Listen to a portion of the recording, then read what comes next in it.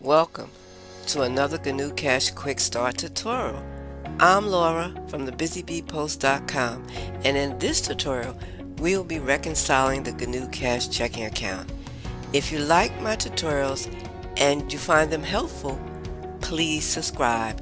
Let's begin.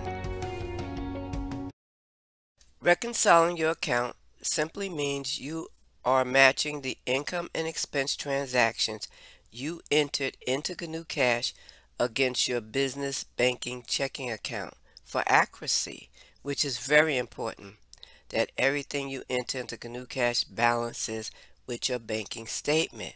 Double checking your records against your bank account transactions each month will give you a better understanding of your transactions such as uncashed checks and undeposited amounts owed to you from third parties.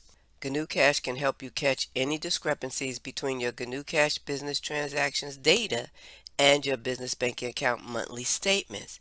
This will assure everything is in balance, giving you less stress when it's time to do your taxes. The most important thing before you begin reconciling your banking account against the GNU Cash checking account is to make sure the GNU Cash checking account is selected by clicking on it to highlight it, indicating this is the account you are reconciling. Because if you don't, you may end up trying to reconcile the wrong account and wondering why you don't see your checking account transactions. To begin, select from the menu bar Actions and when the menu bar opens, select Reconcile. Here on the Reconcile dialog box, the statement date is the present date. And if you notice the ending balance is the same ending balance as shown here in the GNU Cash checking account. Select the statement date as shown on your business checking account by clicking on the drop-down arrow to bring up the calendar and select the date of the business checking account statement you are reconciling. In this example, I'm in the month of August and I want to reconcile my business checking account for the month of July. My business checking account statement is dated August 1st, so I will select August 1st as my statement date. The starting balance field cannot be edited. It displays the balance from the previous reconciliation. It should match the starting balance in your statement, but sometimes the opening balance does not match and will show a zero balance. This can happen the first time you reconcile your account or where the previous reconciled transaction is reconciled or deleted.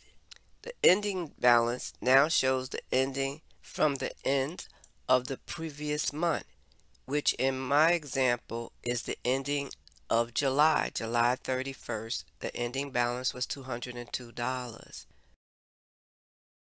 Next, you can choose whether you want to have the sub-accounts included.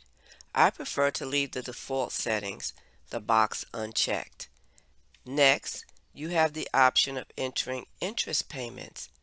Some checking accounts receive interest payments. If you have an interest-bearing checking account, not everyone will, but if you happen to be one of the lucky ones, you can enter that information here so that it will be included when you reconcile your account.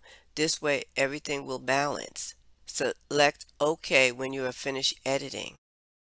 As you can see, the reconcile windows are used to reconcile a GNU Cash account with a statement that a bank or another institution has sent you, not only to double check your records against those of your bank, but also to get a better idea of outstanding transactions, uncashed checks. The two panes here are called Funds In and Funds Out and list all the unreconciled transactions that belongs to the account that is going to be reconciled.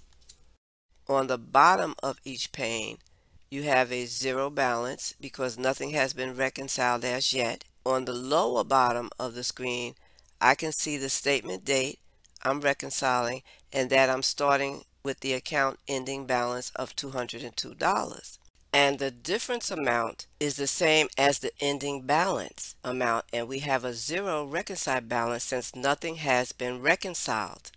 The next step is to check all the transactions that match the transactions as seen on your business checking account statement. In my example, I will check off my deposit transactions for the month of July. At the bottom of the selected pane, you can see that as I checked off each amount, it's keeping track of the sum total amount of the transactions. And now that I've finished, at the lower bottom of the screen, the ending balance and the reconcile balance has the same amount and the difference as shown here has a zero dollar amount difference which means this account is in balance. Now all that is left to do is to select the reconcile tab on the toolbar above and then the finish tab to record the changes and close out.